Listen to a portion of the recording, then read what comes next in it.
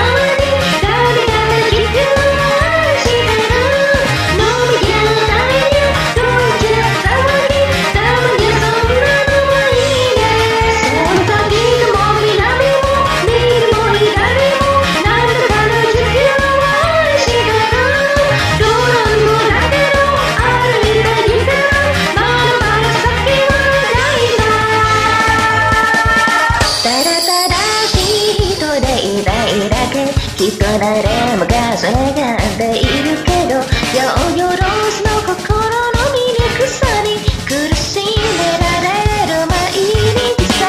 僕が生まれたきどころ奇跡といえば聞こえはいいけどそれは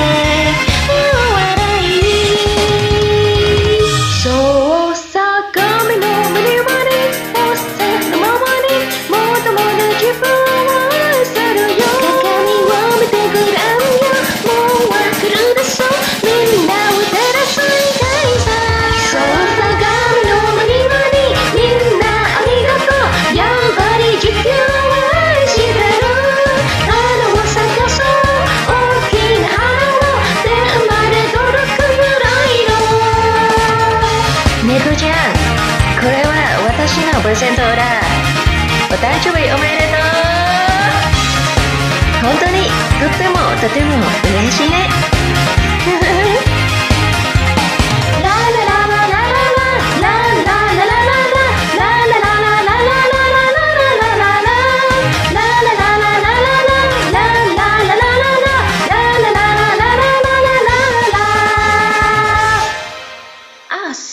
そうそう。